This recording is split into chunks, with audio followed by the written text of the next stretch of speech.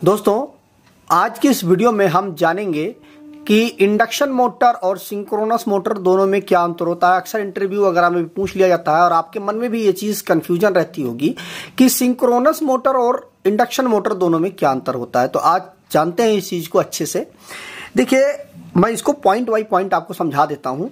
देखिए, इसमें पहला जो पॉइंट है, सिंक्रोनस मोटर में जो स्टेटर की स्पीड जो होती है, उसी स्पीड के साथ जो हमारा रोटर होता है, वो भी घूमता है। क्योंकि देखिए, इस तरह से मान लीजिए हमारी मोटर होती है, इसका ये स्टेटर होता है और इसके अंदर जो हमारा वो रोटर होता है।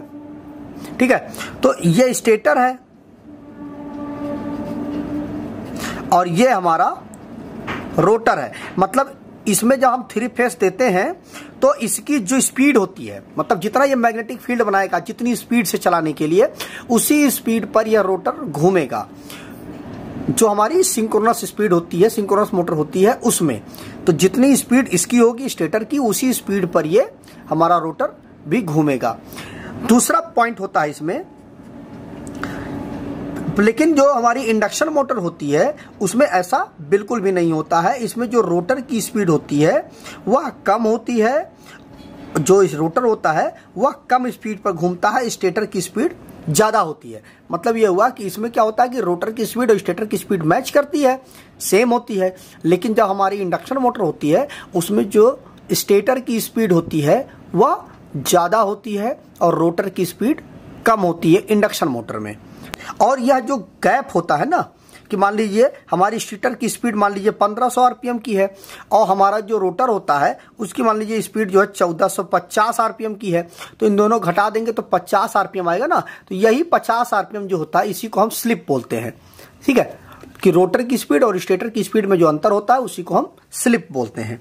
अगला पॉइंट है कि इंडक्शन मोटर सेल्फ स्टार्ट होती है, पर जो सिंक्रोनस मोटर होती है, वह सेल्फ स्टार्ट नहीं होती है, क्योंकि सिंक्रोनस मोटर को चलाने के लिए हमें एक पोनी मोटर की ज़रूरत होती है। क्या होता है कि ऐसे हमारी ये सिंक्रोनस मोटर एक सिंक्रोनस मोटर हो गई, इसके साथ में एक मोटर हम और कनेक्ट करते हैं। इसको बोलते हैं हम पोनी मोटर। ठीक, ये मोटर स्टार्ट करती है पहले इस मोटर को सिंक्रोनस मोटर को। स्टार्ट करने के लिए पहले हमें पोनी मोटर को सप्लाई देनी पड़ेगी। वह मोटर इस मोटर को स्टार्ट करेगी। तो यह जो होती है, यह सहायक मोटर होती है, जो हमारी पोनी मोटर होती है। लेकिन जो हमारी इंडक्शन मोटर होती है, उसमें क्या होता है? ये हमारी इंडक्शन मोटर हो गई, ठीक है? तो इसमें क्या होता है कि जैसे हम थ्री फ़ेज़ सप्लाई देते हैं वो तुरंत चल जाती है। मतलब ये हुआ कि जो इंडक्शन मोटर होती है, वह सेल्फ स्टार्ट होती है, लेकिन जो सिंक्रोनस मोटर होती है, वो हमारी सेल्फ स्टार्ट नहीं होती है। अगला पॉइंट है, जो हमारा पावर फैक्टर होता है, वह सिंक्रोनस मोटर से इंप्रूव होता है। क्या होता है कि जो लोड होता है लोड मतलब जो आपका फैक्ट्री का लोड है या कहीं का भी लोड हो, उस लोड के पैरेलल में हम जो हमारी सिंक्रोनस मोटर होती है, उसको हम लगा देते हैं। तो उससे क्या होता है कि पावर फैक्टर वो मेंटेन करता है, जो हमारे सिंक्रोनस मोटर होती है। इस मोटर को हम तीनों लोडों पर लगा सकते हैं रेजिस्टिव कैपेसिटिव और इंडक्टिव तीनों लोड पर आप लगा सकते हैं, लेकिन जो हमारी जो हमारी इंडक्शन मोटर है मोटर होती है, वह केवल और केवल इंडक्शन पे काम करती है, या केवल और केवल पावर फैक्टर को डाउन करती है, लेकिन जो हमारी सिंक्रोनस मोटर होती है, वह पावर फैक्टर को अप करती है। ठीक? तो यह दोस्तों, कुछ अंतर होते हैं।